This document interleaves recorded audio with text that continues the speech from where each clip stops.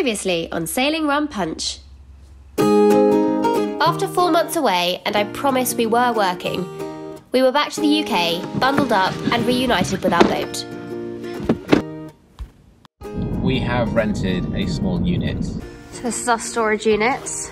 Whilst not originally our plan, we decided to start renting a small unit to turn into a workshop, giving us that extra bit of space. We also needed to get the engine out. This is our engine. It's a Yanmar 3HM35. We spoke to an engineer, Ben made an engine stand, Wood. This needs to be completely empty. and then we began the process for disconnecting the engine. It's a very chilly April morning, but today is the day we are disconnecting the engine. Ellie, how do you feel about that? I'm thinking, what the hell is spring?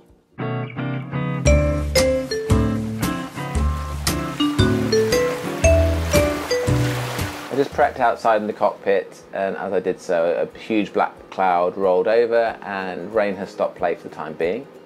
So I'm just going to use this time to go through our list of everything we need to do today so that when the rain stops, we can hit it hard.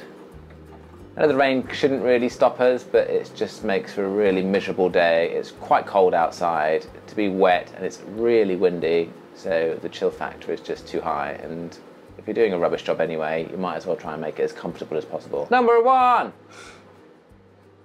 we should do a rap, like a Hamilton style. Oh god, yes. Yeah. Number 10, disconnect.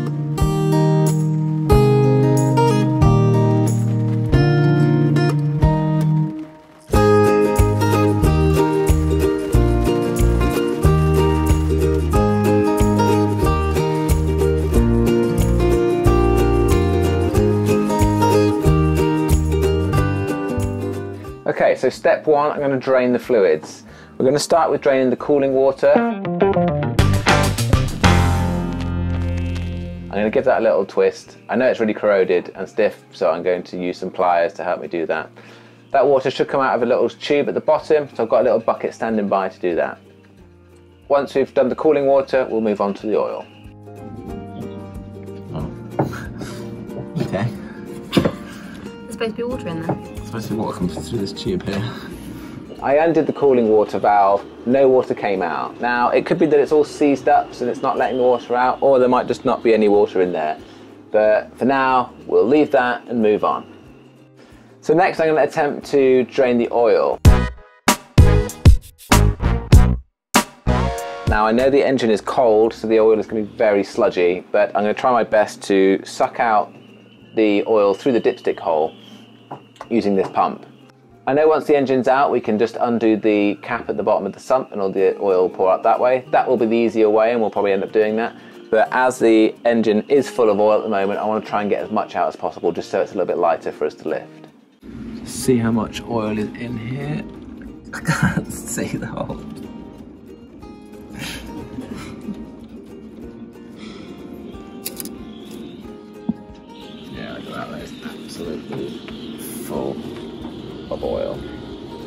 So let's try and get some of that out, shall we?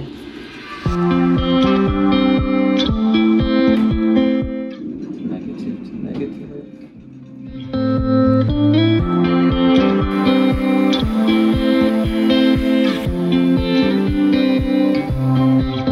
This is going really well so far. It might just be really cold. So far, we haven't been able to drain the cooling water and we haven't been able to drain the oil. But that's okay. What's next on the list?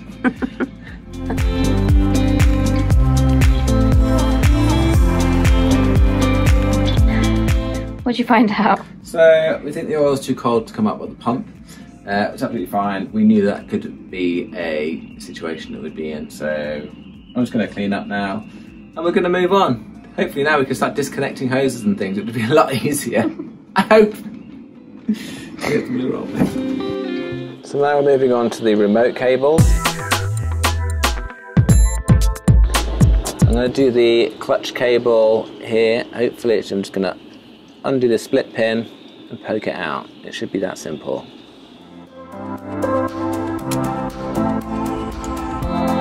That worked.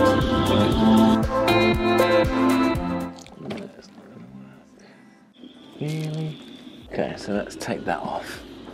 This is why we're giving ourselves week to do this. What have you found? So, the screws to get the clutch cable remote off, and there's not enough space between the side of the engine compartment and the actual screws to fit a screwdriver in. I've only got this much space. Um, I can't fit a screwdriver in there, so what I'm going to do is release these bolts here and hopefully take this whole unit off and then take the screws out and then put this back on. Smart! Yikes.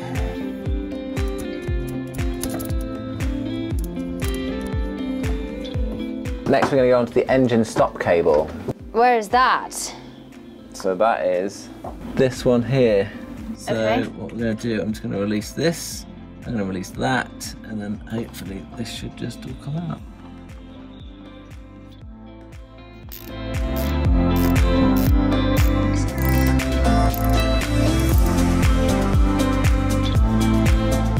So far I've disconnected the clutch cable. This cable means that we can get revs from the engine without putting it in gear. So all we do is push the button in the middle of the control lever and gives us the revs without moving us forward. Uh, I've also got the engine stop cable, that is just what it says on the tin. You pull a lever, engine off. That's the action you see. You pull it up like that, That's rude. engine off. That's rude. Tick tick! What was that you just pulled out? This was the throttle cable. That's what drives the boat forward and backwards. Is that the speed cable? Yes, the speed cable. That's it. Not the decompression cable? No, we don't have one of those. So at this point, if you do have a decompression cable, it'd be attached to here. Oh, shut up, Win. It suddenly got really dark outside and in here, so Ben's had to put the floodlights on. But it was so sunny this morning. It was still five degrees, but it was still sunny this morning. A really nice walk to the boat. And then, like, in two minutes, it's just become classic British weather. I believe we're now moving on to the electric wiring. I just removed the alternator. Now it's not necessary for getting the engine out. The wiring for it's on the other side and I just couldn't see to get to it and I wanted to be, document where everything goes. I don't know if we will continue using this alternator, but just in case I'm labeling absolutely everything, so if it does end up going back in, we can just pop it back in and hopefully have no issues. Next we've got this oil temperature.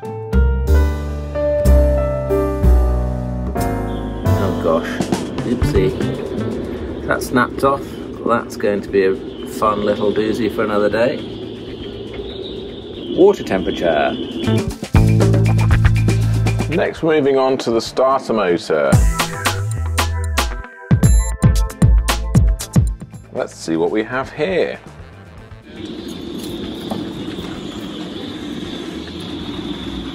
Wow, what an absolute cluster mess that is.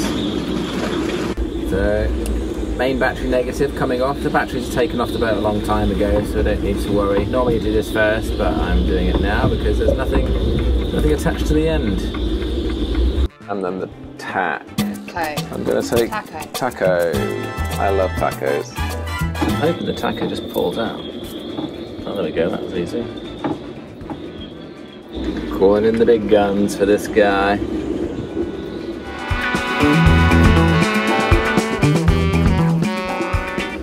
Lovely. The boat is shaking. It's it's shaking. It's like I mean you can hear the wind. It's absolutely madness. I'm like genuinely quite scared this boat's gonna keel over. And we're not even in the bloody water. See it moving.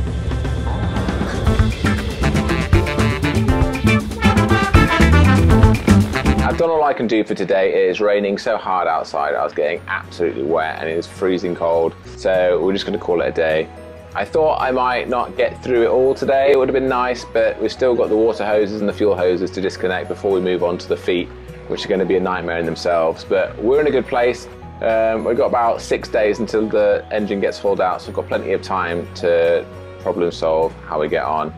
Uh, but for now, we just can't continue with this weather, so we're going to call it a day. We're going to pack up the boat and we're going to head back and probably go to the cinema.